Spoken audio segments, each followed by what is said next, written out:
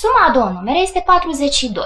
Aflați numerele știind că, dacă se împarte primul număr la cel de-al doilea, obținem câtul 4 și restul 2.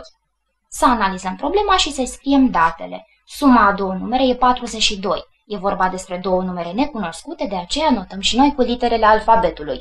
A, primul număr, plus B, al doilea număr, este egal cu 42.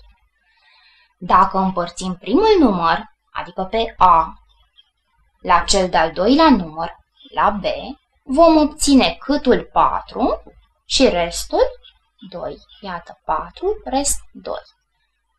Care sunt numerele? Care este valoarea lui A și care este valoarea lui B?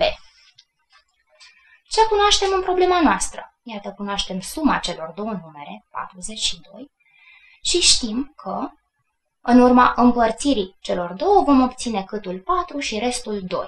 Folosim de această dată teorema împărțirii cu rest. Este vorba despre o împărțire cu rest, în care, dacă ne amintim bine de împărțitul, este egal cu câtul ori împărțitorul plus restul. În cazul nostru de împărțitul este A, numărul cel mare, și putem să scriem A egal cu câtul este 4. Iată, 4 ori împărțitorul este B, numărul mai mic, adăugăm apoi restul, adică 2. Acest mod de scriere ne ajută să reprezentăm grafic cele două numere, pentru că și această problemă se va rezolva tot prin metoda grafică. Numărul cel mic este B, pentru că, iată, el este împărțitorul și îl reprezentăm printr-un segment de o lungime oarecare. Iată, B este acest segment. Numărul A este de 4 ori mai mare decât B și încă un mic segment care reprezintă 2. Iată, A este de 4 ori mai mare decât B. Deci, o dată, de 2 ori, de 3 ori, de 4 ori și încă o parte care reprezintă restul, 2. Știm de asemenea că suma celor două este 42. Iată, A plus B este egal cu 42. Analizând acest desen, observăm că sunt părți egale, dar și o parte diferită de celelalte, care ne cam încurcă socotelile. Așa că va trebui să egalăm părțile, dând la o parte acest mic segment care are valoarea 2. Și atunci operația va fi 42 minus 2.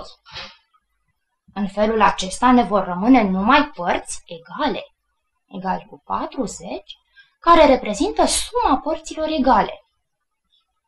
Suma părților egale. Dar câte părți egale sunt? Iată, de la B o parte plus de la A încă 4 părți. 1 plus 4 este egal cu 5 părți egale. Așa că suma celor 5 părți egale este 40. Cum putem afla o singură parte? Prin operația de împărțire. 40 împărțit la 5 este egal cu 8, care reprezintă una din părțile egale, adică numărul B, al doilea număr, împărțitorul, în cazul nostru. Cum îl vom afla pe A? Păi știm că A este de 4 ori mai mare decât B, plus 2, adică 4 ori 8 plus 2 egal cu 32 plus 2 egal cu 34 este numărul A, numărul cel mare de împărțituri.